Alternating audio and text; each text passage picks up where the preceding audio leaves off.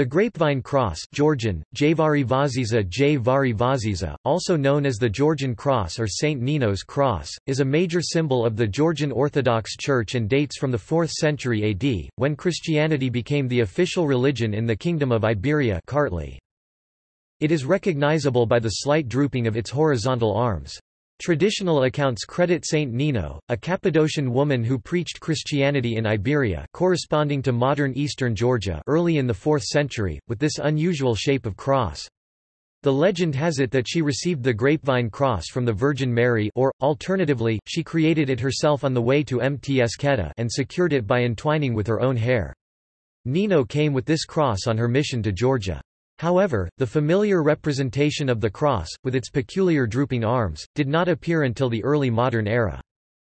According to traditional accounts, the cross of Saint Nino was kept at Svetitskhoveli Cathedral in Mtskheta until 541.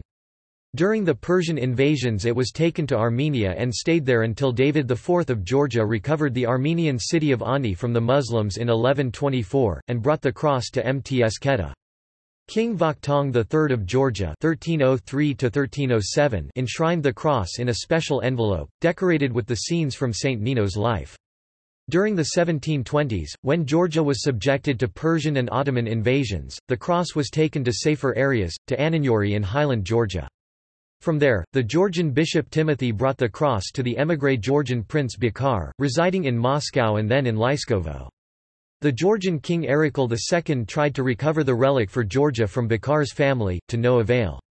In 1801, Bakar's grandson Georgi presented the cross to the Russian Tsar Alexander I, who returned it to Georgia in 1802 on the occasion of Georgia's incorporation within the Russian Empire. Since then, the cross has been preserved in the Sioni Cathedral in Tbilisi, Georgia.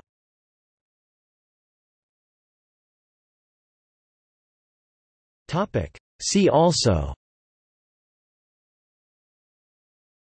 Christian cross